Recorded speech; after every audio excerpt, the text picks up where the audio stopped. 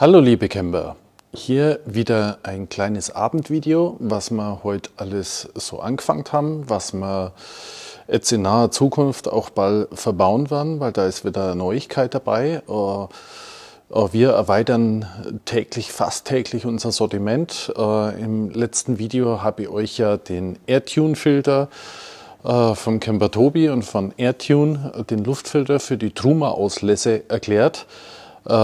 Nach wie vor ein Riesenthema. Also auch vielen Dank äh, für die fleißigen Likes an der Stelle. Und äh, der Filter ist wirklich ganz wichtig für die, für die Feinstaub- oder Staubentwicklung im Wohnmobil. Ich habe da ein paar Rückfragen gekriegt, ähm, zum Beispiel, warum man den Filter nicht vorm äh, vor, der, vor der Lufteinlass, also wo, du, wo die Luft angesaugt wird bei der Truma montiert, da gibt es eine ganz einfache Antwort. Ähm, da ist es nicht möglich, oder ich sage jetzt einfach mal in den meisten Fällen nicht möglich, weil die Truma oft so kompliziert und eng verbaut ist, dass wir als Laie da gar nicht rankommen. Und der Filter muss ja regelmäßig in regelmäßigen Abständen auch gewechselt werden. Und da macht es gar keinen Sinn, da einen Filter zu verbauen, weil teilweise zum Beispiel La Strada hinten unterm Bett, da muss man die ganze Verkleidung äh, abschrauben, äh, das Bett abmachen und, und, und. Ähm, da, da ist das absolut Blödsinn. Also da kommt man überhaupt nicht hin. Und darum haben wir äh, die Filter ja für die Ausströmer gemacht, damit es für euch ganz leicht zum Wechseln geht. Binnen 15 Minuten sind alle Filter montiert oder gewechselt, ganz unterschiedlich, wie man das handhaben möchte und ist vom Handling her überhaupt kein Problem. Und das ist der erste Grund, warum wir das, oder der Hauptgrund, warum wir natürlich nicht an das Gerät dran sind und haben da den Einlass gemacht, weil das viel zu kompliziert wäre. Und äh, das ist äh, ein tolles Thema, filtert den Staub richtig raus und da stehen wir auch voll und ganz dahinter. Und wir haben heute wieder eine große Lieferung gekriegt. Also wenn Interesse besteht, ihr könnt über unseren Online-Shop äh, bestellen. Ähm, dann machen wir das auch gleich fertig, die Sets, und schicken euch das zu. Wenn ihr Fragen dazu habt, jederzeit bei uns per E-Mail oder durchrufen, überhaupt kein Problem. Jo, dann nehme ich euch mal auf die Hand und zeige euch, was alles so geschehen ist heute. So, dann laufen wir mal wieder kurz hinter in die Werkstatt, weil da haben wir nämlich ein Thema, was ich richtig brennend finde. Das habe ich euch das letzte Mal schon nicht gezeigt. Und zwar gerade hier jetzt in dem Fahrzeug haben wir das verbaut. Ähm, eine Mobilade, also sprich ähm, Vollauszüge, Schwerlast, Vollauszüge, wo man einfach enthakt da ist hier so ein Sicherheitshaken, ne? da enthakt man und dann kann man den wirklich komplett hier rausziehen und da kommen natürlich die Euroboxen noch drauf und dann hat man hier ein schönes System, wo man entsprechend äh, seine Sachen einordnen kann. Finde ich richtig toll, sehr leichtläufig, alles aus hochwertigen Materialien. Hier haben wir es jetzt zweistöckig gemacht, ähm, maßlich sauber eingepasst, damit es super ausschaut. Morgen kommen da noch die Euroboxen drauf. Die sind ja fertig von den Maßen her. Da kann man ja eh nichts falsch machen. Ähm, da passen nur bestimmte Boxen drauf. Das sind die grauen und ähm, die sind morgen da drin. Und dann schaut es richtig klasse aus. Also von dem her finde ich das ein ganz tolles System.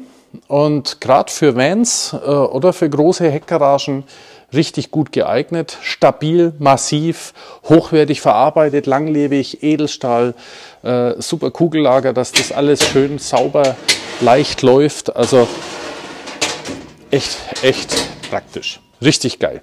Also, entschuldigen den Ausdruck, aber ich finde es richtig, richtig schön. Genau. Ja, dann haben wir den Sitz wieder drin. Haben natürlich ähm, hier alles richtig sauber und ordentlich verbaut.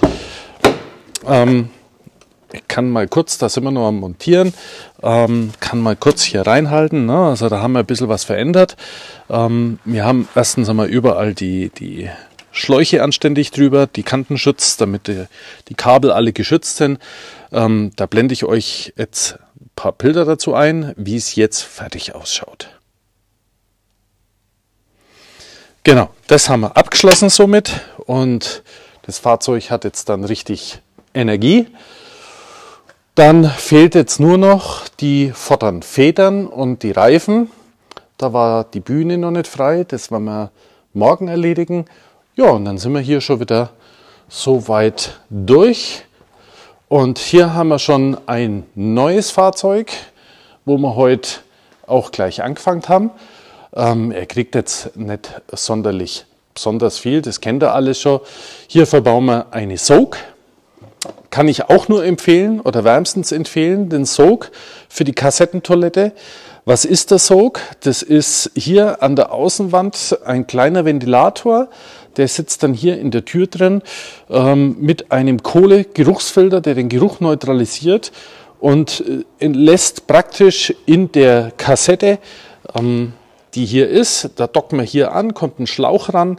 Ähm, das sind, gibt unterschiedliche Systeme und da wird hier ein kleines Vakuum erzeugt in dem Moment, wo innen drin die Klappe aufgemacht wird, äh, damit man auf Toilette geht, fängt der Ventilator das Arbeiten an. Dann machen wir hier nur so einen kleinen Mikroschalter hin und dann zieht er die Luft nach außen und dann entstehen im Fahrzeug keine Gerüche mehr. Und ihr müsst auch keine Angst haben auf den Campingplätzen, weil da drin ist dann ein Kohlefilter, der auch die Gerüche neutralisiert. Auch die Luft, die da rauskommt, riecht natürlich nicht extrem stark. Also, oder riecht auch nicht. Ähm, das ist eine ganz praktische Sache. Und somit hat man die ganzen Gerüche aus dem Fahrzeug raus. Und äh, in so einem Fahrzeug haben wir natürlich keinen oder sehr kleinen Lebensraum. Und da macht es natürlich schon Sinn, gerade wenn man auch mal zu zweit unterwegs ist, ähm, ihr wisst selber, Toilette ist ja schon immer so eine Sache und kann auch mal unangenehm riechen. Jo, was haben wir hier noch gemacht?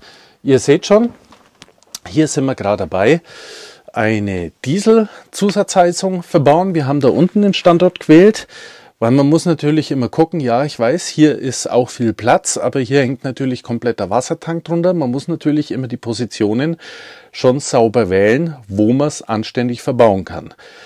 Wir haben die Position gewählt, weil wir hinten einen Ansaugschlauch ranmachen, ähm, wo wir noch rumleiten, damit er auch wirklich genügend Luft kriegt. Und dann kommt hier vorne in die Blende und hier seitlich in die Blende äh, ein Auslass entsprechend rein. Und dann hat man hier genügend Luft oder genügend Auslässe, einmal nach hinten, einmal nach vorn, wo man dann dementsprechend die Heizung richtig äh, spürt und den Raum auch richtig aufwärmt. Und das macht dann schon richtig Spaß mit so einer Zusatzheizung.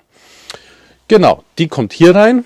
Ja, und dann machen wir hier oben äh, den Kunden, das hat er mal selber gemacht, hier machen wir äh, größere Blende hin und äh, die werden wir hierher machen und wann dann die ganzen Geräte hier einbauen für die Ebersbecher und so weiter. Ähm, dann werden wir den Wechselrichter, der hier verbaut ist, der war schon hier verbaut. Da werden wir aber dann noch die Fernbedienung auch hier hochbauen, damit die alles zentral an einer Stelle sitzt. Und ja, dann ist es auch gut. Hier haben wir wieder, habe ich euch schon mal gezeigt, wo unser Tankentnehmer angedockt wird. Da seht ihr schon die Benzinleitung, äh, die Dieselleitung, Spritleitung, je nachdem. Die liegt hier schon drin, die haben wir schon vorgezogen, aber hier, äh, ich weiß nicht, ob ihr das erkennen könnt hier, hier ist der kleine Nippel, der silberne, und den Tankentnehmer haben wir hier eingesetzt und da wird dann der Diesel entnommen entsprechend und die Dieselpumpe unten verbaut und dann nach vorne zur Heizung führt. Genau. Aber das haben wir ja schon ein paar Mal erklärt. Und ja, das machen wir jetzt hier bei dem Fahrzeug und dann kriegt er noch ein paar Steckdosen und noch ein paar kleine Reparaturen und dann sind wir hier auch schon wieder durch mit dem Auto. Und dann kommt morgen auch noch mal ein anderes Fahrzeug, das wird dann eine wenig größere Baustelle. Ähm, oh, dann geht es da wieder weiter. Und jetzt wollte ich euch noch was Neues zeigen, was wir auch verbauen die Tage. Da nehme ich euch dann auch noch mal auf die Hand und mit und zeige euch das. Und zwar haben wir hier eine Birth View Kamera. Äh, das heißt eine, ja, wie soll man sagen, Vogelperspektive Kamera. Ähm, die wird im Fahrzeug montiert mit vier Kameras und hat dann speziellen separaten Monitor. Hier ist das Steuergerät dazu und das Ganze hat den geschmeidigen Vorteil, ich blende es euch hier mal ein, dass man natürlich so ein Bild sieht von seinem Fahrzeug und kann entsprechend überall hingucken. Man sieht von oben jedes Eck vom Fahrzeug und das ist richtig spannend und kann natürlich somit viel besser rangieren. Gerade bei größeren Fahrzeugen ist das ein Riesenthema und ähm, ja, da macht es schon richtig Sinn. Das, das sind die Kameras, die wir da verbauen. Vier Stück an der Zahl müssen da montiert werden. Ähm, da freuen wir uns auch schon drauf, wenn wir das verbauen. Dann wird das alles anständig kalibriert, muss natürlich an das eingestellt werden, ähm, weil in diesem kleinen Computer müssen dann die ganzen Bilder, wo die Kameras erzeugen, zusammengesetzt werden zu einem Bild und dann der dann am Monitor erscheint. Und das muss natürlich anständig und richtig montiert und kalibriert werden, damit es auch entsprechend funktioniert und damit das Eck vom Wohnmobil auch wirklich das Eck vom Wohnmobil ist, was man auf der Kamera sieht. Und äh, da nicht 10 Zentimeter daneben liegt, weil sonst ähm, fährt man ja dann doch gegen irgendein Hindernis. Also das ist auch wieder so ein spannendes Projekt, da freuen wir uns drauf. Ähm, das ist übrigens einer mit der besten Kameras, finde ich zumindest, auf dem Markt von der Firma Karatec.